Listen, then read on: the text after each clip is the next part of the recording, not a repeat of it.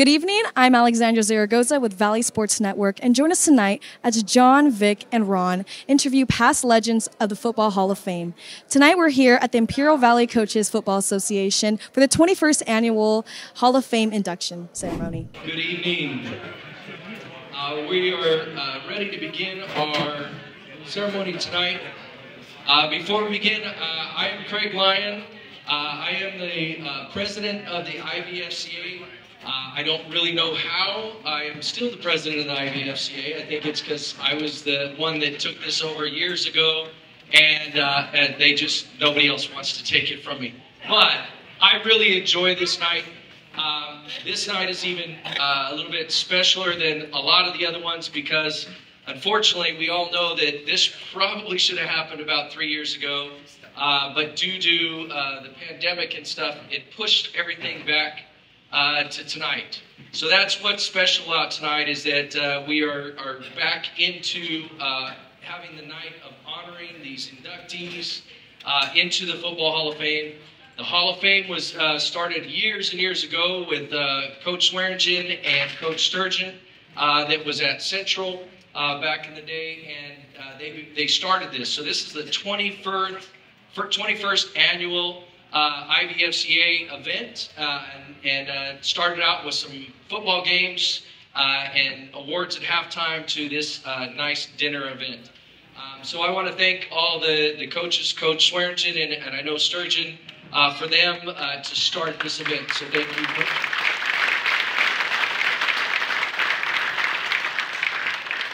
Just to uh, as uh, to give you a little bit about I am the uh, principal at Central Union High School. Um, my overall coaching record as a varsity football coach is 0 2. That doesn't mean that I know much about football, but I was an athletic director and so on. So uh, that's why I think I'm, I'm one of the ones that, that takes on and, and works with this event. So just to give you a little bit of information about how tonight's going to work. Uh, we are just going to uh, have an opportunity to uh, announce the inductee and give them an opportunity to come up and say a few words.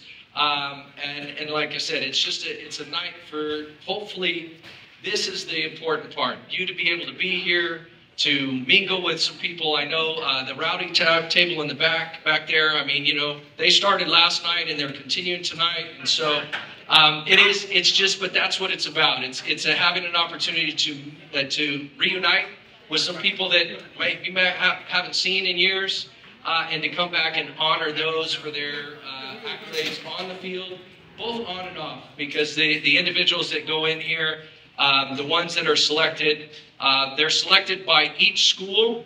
Uh, not by a committee that we have, but each school selects their own and then lets us know, and then we induct them. So those of you that are being inducted, you're being inducted because of the, uh, the schools felt that you were the inductees. Uh, because I am going to say some of these names here, I don't know who you are. Uh, but that's not because of, you know, I mean, obviously I'm a young one. Coach Swearingen's been around since, I think, uh, I don't even know, long time, right, Coach? Yeah, three days older than Jesus is what it is. I, I've heard all those things, right? So um, I, I, know Coach Swearingen probably knows almost everybody, even including the 1920s. Uh, but I'm a, I'm an 88 graduate from Central, so anything after 88, I probably know a little bit. So. Uh, so let's get started with this uh, tonight. You guys haven't had an event like this since 2019. How does it feel to all be back? Well, it feels great to be back. You know, I mean, uh, we had this all set up to do it, you know, in 2019, and, and we were going to be inducting these inductees at that time, and unfortunately, due to COVID and stuff, we had to postpone it, and we finally are having the opportunity to bring them back. So I'm excited for that because I've been waiting a long time. Appreciate it.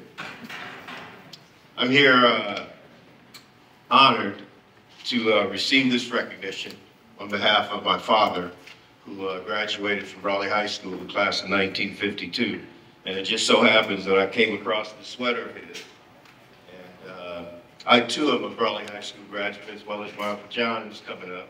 Uh, he and my dad went high school together, so I'm going to let him share a few words. But as I told my own children prior to coming here tonight, that uh, not only is this an honor, and uh, I just grew up hearing hearing of the stories.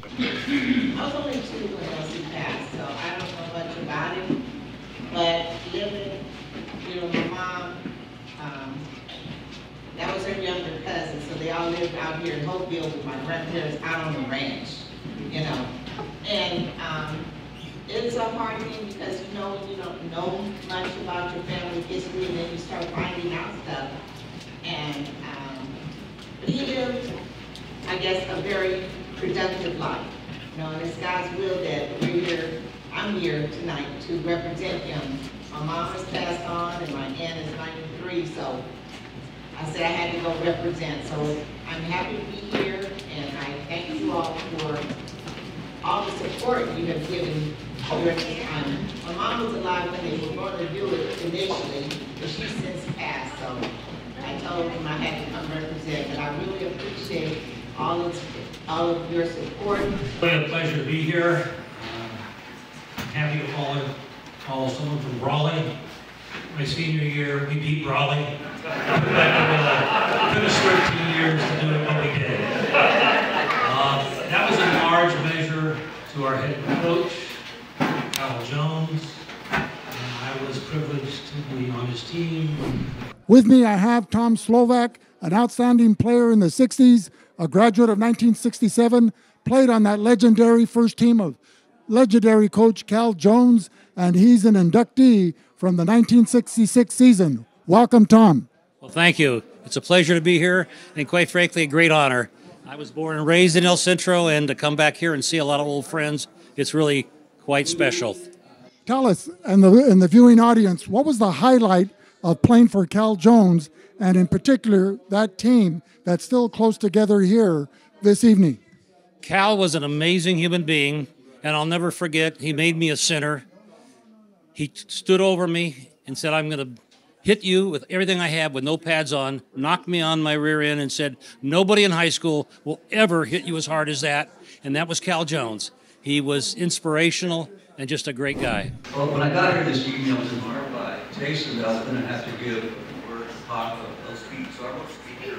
It's going to take more than a couple hours to go through this. But basically, um, I'm honored. Thank you so much. To thank the association for electing me to this. I grew up in Holtville. This is my hometown. Uh, I don't live here anymore. I left when I was about 27, so, but it's always home. Is where I come back. Is where I came from. Uh, I love this town. I love the people here. And uh, it's an honor Here with Joey Silva from the class of 1969 of or 68 from that Herald Holtville Viking football squad that went undefeated during regular season play and I believe even won a CIF uh, small schools division championship. Joey, a standout wide receiver, defensive back, kick returner, punt returner. He did it all for the Vikings. Joey, tell us, what was that experience like? It was the best experience of my life, honestly, to be able to play on a team that uh, we gelled so well as a group. We uh, all supported each other with it, and it's probably the highlight of my life being able to be part of that team that, you know, we went undefeated. I can't do any better than that. And I played with some great guys, and some of them are already here as well too. But it was a tremendous experience for me. Just really appreciate uh, the honor of being selected by the association, particularly my teammate, and coach, and dear friend Mike Swearingen, and also Mac Fields, I want to acknowledge them for their uh, consideration.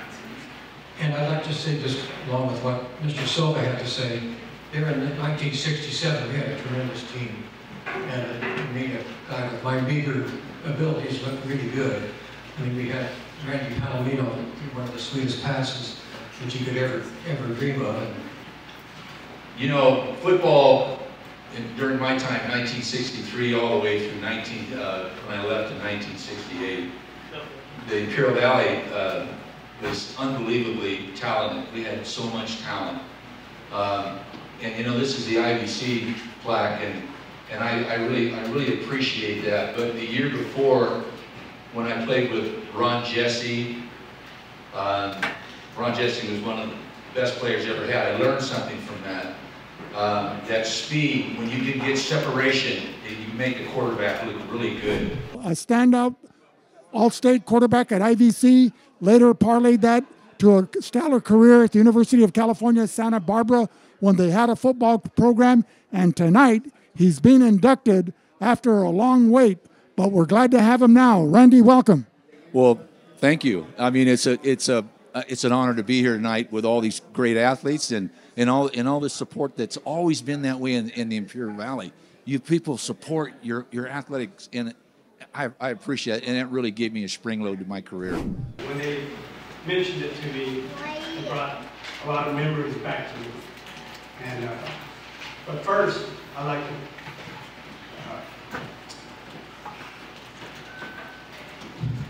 thank my Lord Jesus Christ. My, my life was uh, was not good when starting out. I born, was born in Brawley, grew up in Madeline until I was nine years old. Didn't have a TV. I didn't know what sports were, but I knew I was fast. And my first coach was uh, a police officer named Glenn Crossan in Brawley. And he was working in the boys club, and so he kind of knew me, and I saw all these kids in sixth grade with these shoulder pads and helmet, and they looked really tough. And I said, I want, I want that. I want to look like that. Miguel Tagaban was a grad of 1977, class of 77. Played for under Coach Barker there at Brawley High. Yes. Miguel, tell us what it feels like to be inducted to the Hall of Fame. Well, it's kind of surreal because I wasn't expecting anything like this.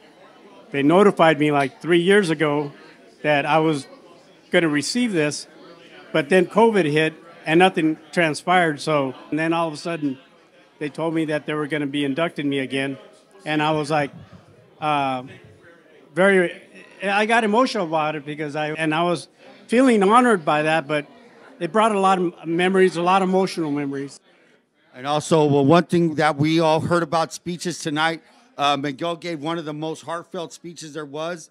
Uh, Miguel, that being said, what has football done for you in high school football? Because as as you know, Valley Sports Network is for for the high school athletes. Right. What did high school football do to you that could help pe- athletes now and in the future?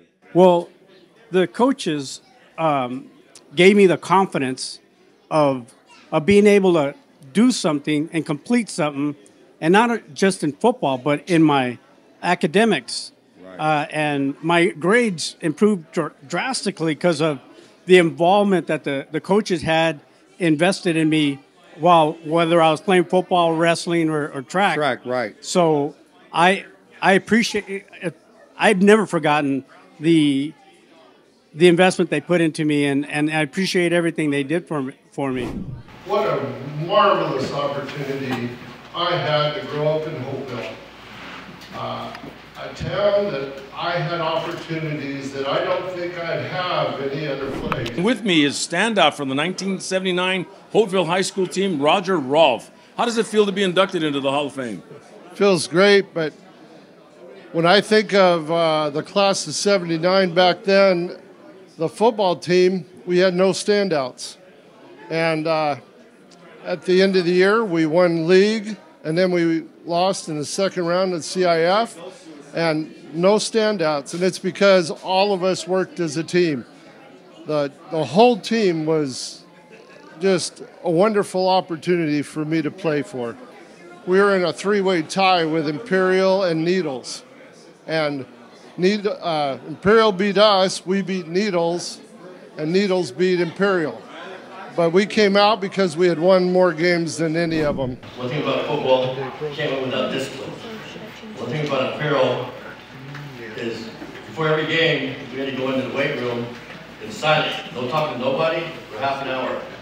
Anyway, we were playing Holtville, and uh, I took my little, and I, I fell asleep here during the weight room, and I woke up, and the drink up, we won 54 to nothing.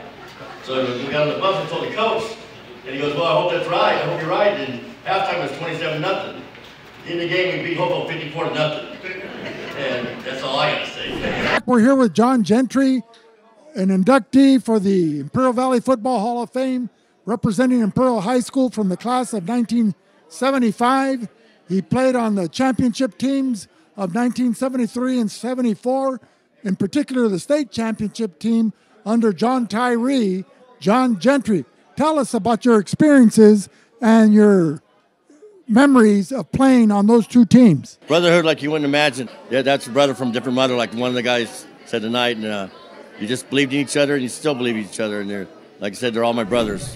When I was younger, playing football, I couldn't play Pop Warner because I was too big.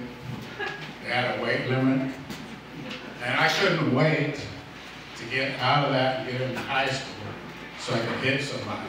You know? I played three years on varsity, only sophomore on varsity under Terry Lowe. Standing next to me is Brawley Wildcat, Tim McClanahan, three-year starter from the class of 1981. Tim, being said that, you know, being proud of being part of the Hall of Fame now, what what is it, what do you think high school football did for you? Oh, it taught me, uh, it was a team sport, um, taught me respect, taught me uh, just to keep going. Um, and if, if you feel down, you just keep going up. Just keep working hard at what you do.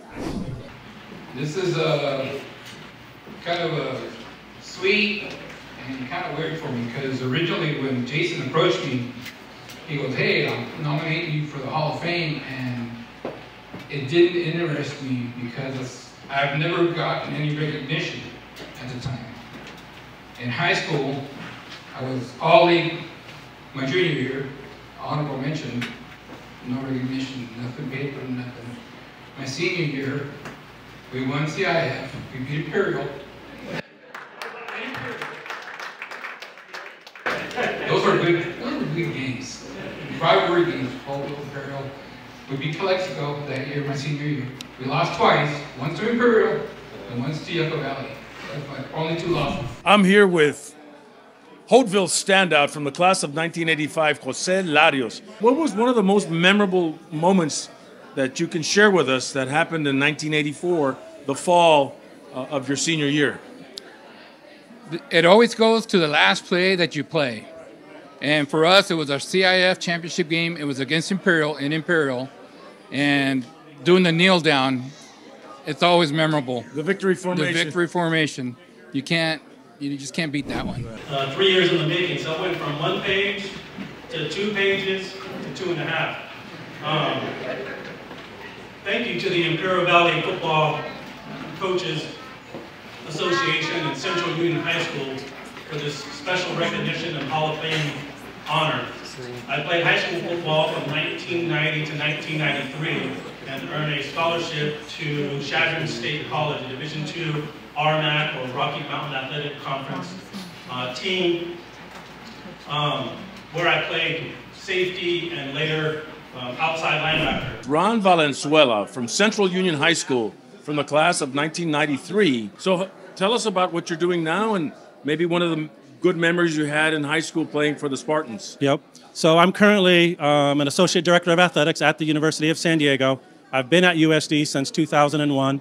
And in my role, I uh, assist with the oversight of our 17 Division One sports and 420 or so athletes um, to help facilitate a wonderful experience for our scholar athletes there. A lot of, a lot of this uh, success is based at Central, where you came from, and and you and you've done something really well. So, how about a, a memory from 1992-93 school year? Yeah, to me, it, it's about the relationships, the camaraderie, the friendships, um, the coaches who really invested in us as children, as as as young men. Um, and and to me, it's it's not essentially about the four years at Central. It's about the 40 years after, or the 30 years after, or the 20 years after. Um, and to me, Central Union High School is a really special place. Um, and I think, you know, playing football at Central, uh, the big game was always the bell game versus Brawley. Um, you know, I was fortunate enough, we were fortunate enough to get a victory during that game, but then also uh, participating in the CIF playoffs my sophomore year. Um, I think that was a special group, and, and we had a lot of talent on that team. So those two things really stick out. Um, I had the privilege to play four, four years in varsity for Calexico High School football. I was uh, part of the 93, 94 John, um, three years ago, I got a uh, message from him. He asked me for, for my address. I was like, have juice for you. So I gave him some. Three weeks later, I got the letter. So I texted him right away, and he said, "You got it?" Yes, I did. Congratulations. A member of the 1993 Calexico High School DVL champs. Um, his name is Farmer Javier Robles. Well, that season that you played in 1993-94 was a special season because Calexico, after a period of I think 27 years, hadn't won a championship, and you and your and your teammates under the direction of Cal Armstrong surprised the whole league by winning that championship. However, losing to the Central game, but being the number one seed because you had beaten Palm Desert. What was one of the most exciting experiences that year for you? I think it was uh, against Indio. Um, we were down. We were down like 21-0. And um, I remember everything started on one play that I did. And I took him for 78 yards. And after that, it everything turned on and we won that game. truly am blessed and, and honored to be here. Um, and part of me being here was growing up, I, I was completely lost. As a kid, I was lost. I, I didn't really have, I didn't really feel like I had a sense of, of anything. But one of the coolest things is I've been a part of a lot of great seasons. I've been a part of a lot of great coaches. But one of the coolest things I've seen when I was growing up was uh, when I seen a dad playing football with his son. That was the coolest thing to me. I'll start off by saying, you know, football truly is the, the you know, greatest team sport ever. Right? So I can't, you know, be up here without uh, giving a shout out to, to all my teammates at Imperial, my coaches, um, and everybody that helped me along the way. So um, really big on gratitude, really big on saying thanks.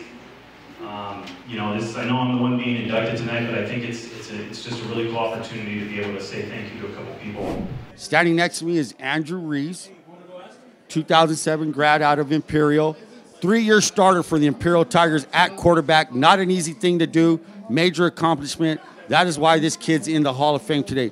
Andrew, tell me how it feels to be inducted into the Hall of Fame.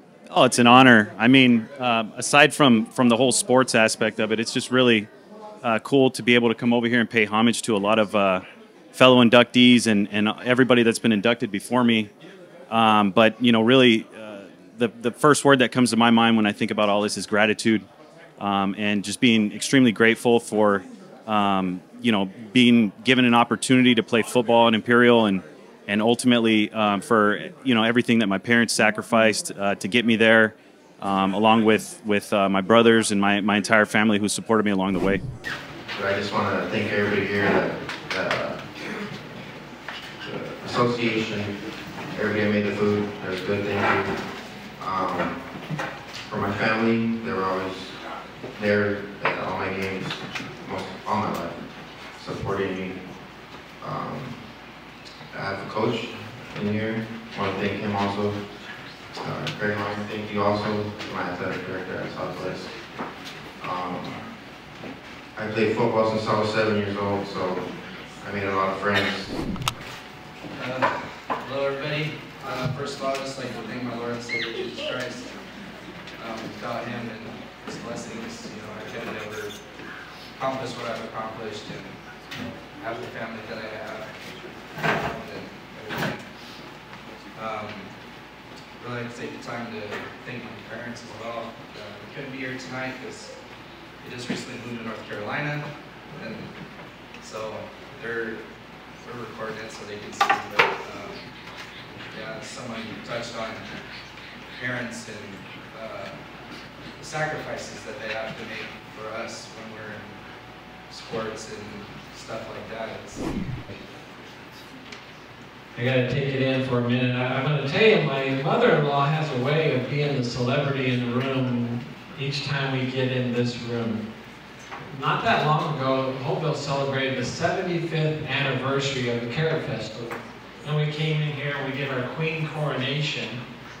And as we sat at the table with her, she pointed out she was there for the first Carrot Festival. So I, I prepared some remarks here. When Mike Swearingen and Jim Sturgeon got together to create this Hall of Fame. With me is Mike Goodsell, who's being inducted as an announcer. He was the mayor of Holtville, he was the girls' basketball coach, and he's the announcer at the football games. Mike, how does it feel to be inducted? Well, it's it's quite a shock in a way because I knew what a terrible football player I was in high school, so I knew it wasn't for that, and so I had uh, I had questions about how I got in here. Right. But uh, I have been announcing the games for gosh, well over 20 years now. So um, yeah, it's it's quite an honor though. That uh, concludes. Before we end, I do want to uh, thank uh, Valley Sports Network for their continued support. Uh, they are going to be, and, and as I said, if you want to find out information about how you can watch a football game every Friday night, or Thursday night, or Saturday, whenever they play, because we play all the time now, check that out. Find out about VSN because we really appreciate what they do to promote our high school athletes and our student athletes and future inductees sometime. Uh, we also want to thank the Swiss Club. They always put on a great uh, event. We thank them for supporting us uh, always. And then also all the coaches and athletic directors and administrators and so on for the, the, the local high schools uh, because without them we couldn't have an event like this. Uh, we put on uh, two events during the year, the uh, halftime uh, induction dinner, and then early in the year we do carnivals for the Frost JV and the varsity. And that's the way that we raise the money to help support the event and continue to support our, our uh, inductees and our student athletes. So uh, thank you so much for coming out tonight. We really appreciate it. I loved hearing all the stories and I look forward to hopefully seeing you in the future coming to some of these events and, and seeing some other inductees uh, uh, you know, being inducted into it. So thanks again. I appreciate it. Have a great evening.